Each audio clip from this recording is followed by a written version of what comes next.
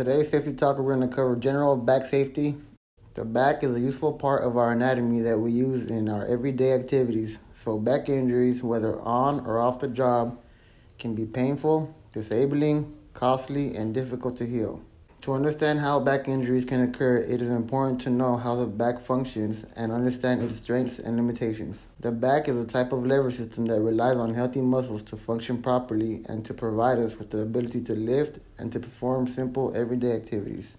An unhealthy back or the improper use of the back can lead to injuries such as low back pain, muscle strains, herniated discs, nerve impingement, etc.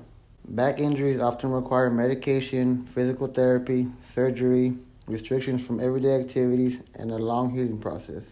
The best solution is to prevent back injuries by forming good habits, living a healthy lifestyle, maintaining good posture, and performing activities within your own capabilities. Some contributing factors to back pain are poor physical condition, poor posture, extra weight, stress, smoking, aging, and overdoing it. Remember, always recognize how important your back is and take care of it. Reduce your risk of back injuries by maintaining a healthy lifestyle. Stretch, rest your back, get your sleep, and get in shape. Always maintain a good posture.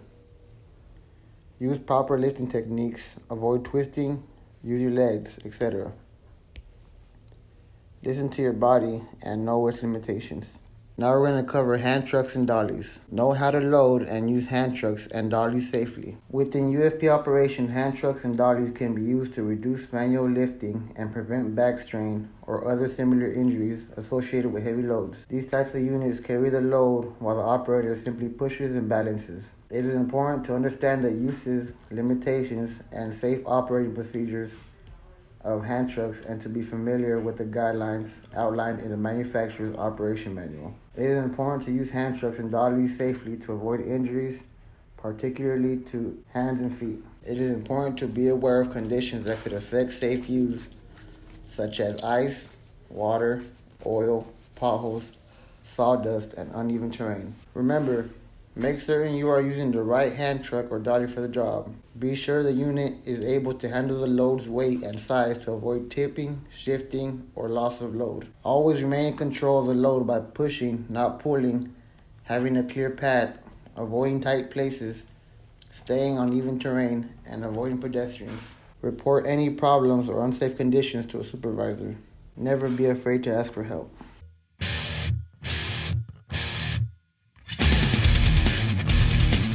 Hand trucks are great tools, but using them the wrong way can lead to back injuries. Two-wheeled hand trucks look easy to use, but it's easy to lose the load or injure yourself if they are not operated the right way. To properly load a two-wheel hand truck, use proper body mechanics when placing a load on a hand truck. Warm up and stretch, then use the large muscles of your legs when lifting.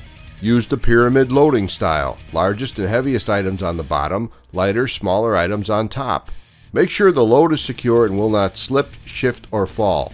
This may require securing it to the truck with straps or rope. Move forward, not backward, with the loaded hand truck. If you're going down a slope, keep the load in front of you.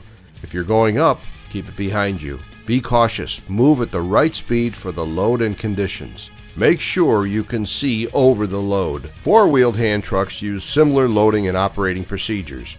Four-wheel trucks can tip over, so make sure that your load is secure and will not slip, shift, or fall. Most carts should be pushed, not pulled. Make sure that you can see over the load. Watch placement of your hands so they won't get squeezed or crushed by the load. No matter what kind of hand truck you are operating, here are some general safety rules to follow.